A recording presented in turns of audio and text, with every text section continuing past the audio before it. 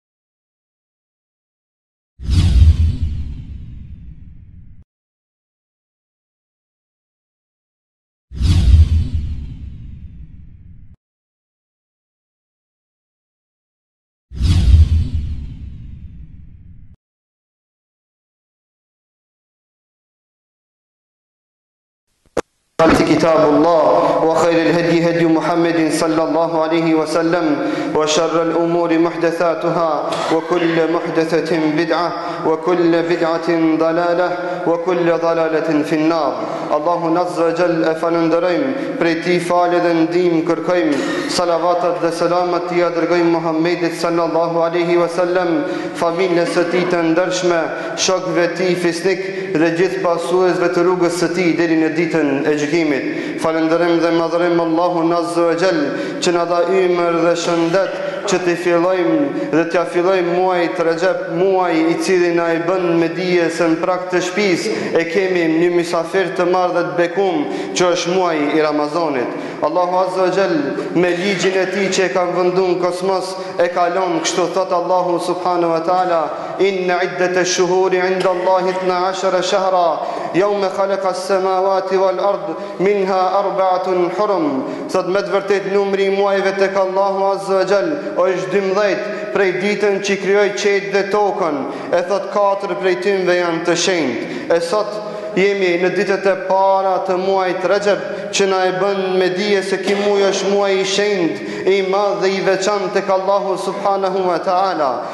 Përkrahas veçantisë dhe veçueshmërisë që e ka ky muaj në vete se është i shenjtë, e ka dhe një simbolikë tjetër që na e bën me dije se shumë afër e kemi muajin e bekum të Ramazanit. Dhe realisht ky muaj i veçantë ka ndalesat e veta dhe i ka veçoritë dhe mirësitë e veta, porse veçoritë dhe mirësitë që i ka ky muaj në vete janë ashtu siç i ka përshkryt Kurani dhe Sunneti i Pejgamberit sallallahu alejhi ve sellem, e jo sipas qejfit të dikujt që gjatë këtij muji të veçantë e të bekum t'i bën trillime dhe shpifje Muhamedit dhe sunnetit të Muhamedit sallallahu alaihi wasallam dhe se themi gjatë këtij muji të bekum nuk është me rëndësi cilësia e punëve nuk është me rëndësi sasia e punëve porse ajo që është me rëndësi është cilësia e tyre dhe çdo vepër e cila nuk i ka dy cilësi në vete e cila nuk i ka dy kushte ajo vepër nuk është e pranushme dhe e refuzushme është tek Allahu Azza wa Jall, që është el ikhlasu wal mutaba, sinqeriteti dhe pasimi i sunnetit të Muhamedit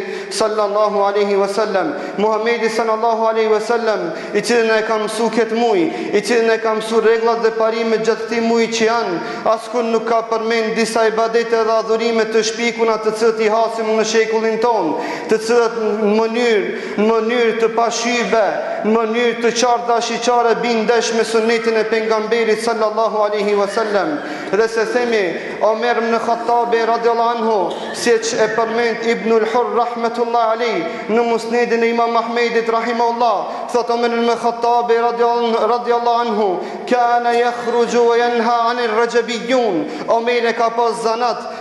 të del në treg dhe t'u ban ndalesa kujt Rexhepxhive kështu e ka emërtu Omeri radijallahu anhu Rexhepxhive sepse janë disa njerëz që mundohen që mundohen muslimanlëkin e vet ta tregojnë dhe shfaqin vetëm në muajin Rexhep dhe atë në formë që është adhuruar Allahu me bidate me trillime të cilat nuk kanë bazë dhe argumente fetare dhe ndaj kësaj muslimanët nuk guxojnë që të heshtin dhe se duhet t'u sqarohet mirë dhe shqip që t'ua sqarojmë ndalesat që janë gjatë këtij muji të bekum e të shenjtë tek Allahu Azza wa Jall. Nëse dikush e ka ditë shenjtërinë e këtij muji, ai më së miri që e ka ditë është Muhamedi sallallahu alaihi wasallam, e jo dikush të vjen mas 1400 viteve ta veçon e ta don këtë muj ma shumë se Muhamedi sallallahu alaihi wasallam. Themi ky veçim e kjo dashuri është e rrejshme dhe është në kundërshtim me rregullat dhe parimet fetare që njeriu nëse e ban me vetëdije të plotë Nëse e ban me qëllim që të ban shpifje dhe trillime në din,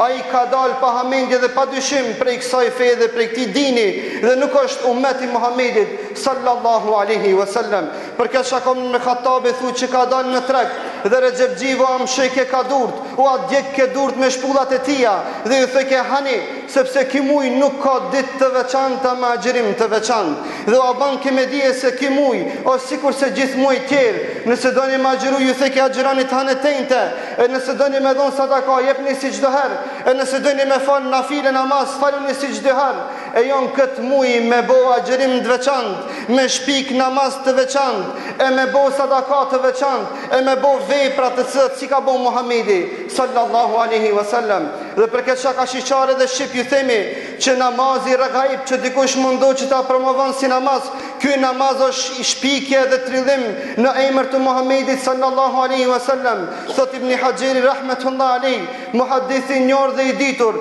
askund në sheriatin e Zotit, në asnjë hadith nuk shënohet dhe nuk ka të vërtetë se Muhammedi sallallahu alaihi wasallam e ka falë regaibin. Bile thotë Ibni Haxheri, në këtë namaz dhe për këtë namaz, lene që s'ka hadith të vërtetë, nuk ka as hadith të dobët, bile thotë gjitha hadithet që dikush i përmend, janë hadithe të trillume të rrejshme, që s'kanë kurrnjëfarë baze në sheriatin e dinit. Njëjtë e përmendme edhe agjërimin e veçantë që mundohet dikush që ta promovon, themi që kjo nuk ka bazë.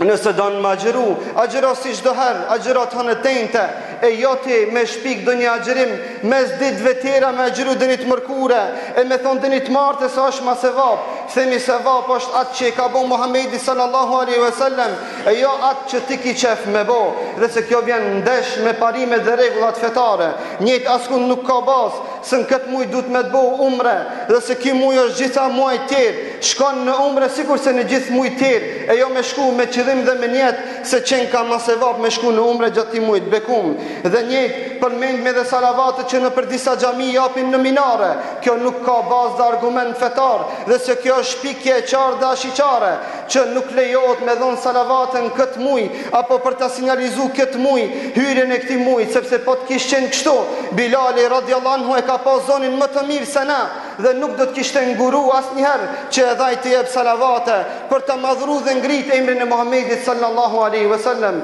o vëllazër na themi me rëndësi dhe e dashur tek Zoti është cilësia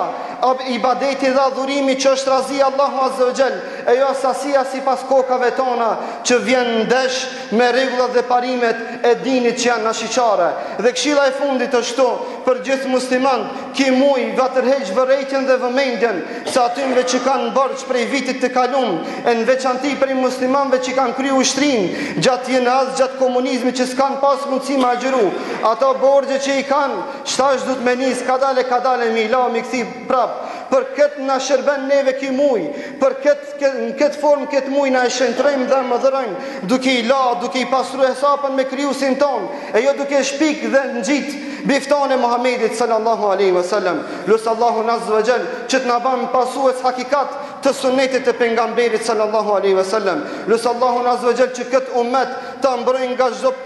shpifje nga çdo tridhim që këtë umet ta ban umet të Muhamedit sallallahu alaihi wasallam, që të na ban nasip Zoti që të pim nga kroni i Kautherit, nga dora e Muhamedit sallallahu alaihi wasallam. E asnjëherë të mos bëhemi të tillë që të bëhemi shkak dhe sebeb i, i veprave dhe bidateve që i bajmë, që të na kthen prap Muhamedi sallallahu alaihi wasallam dhe të na mos na jep ujë nga dora e tij fisnike dhe e ndershme. E kulu qauli hada wastaghfirullaha li wa lakum fastaghfiru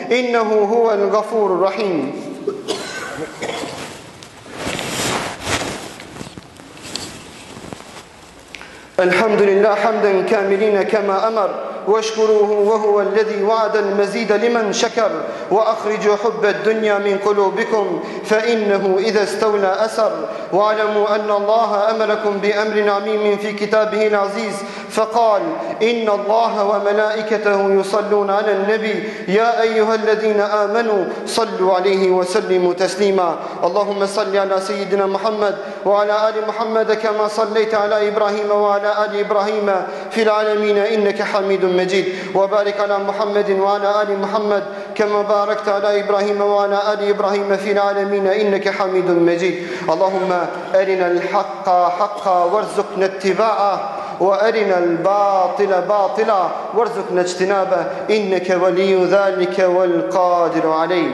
إن الله يأمر بالعدل والإحسان وإيتاء ذي القربى وينهى عن الفحشاء والمنكر والبغي يعظكم لعلكم تذكرون أقم الصلاة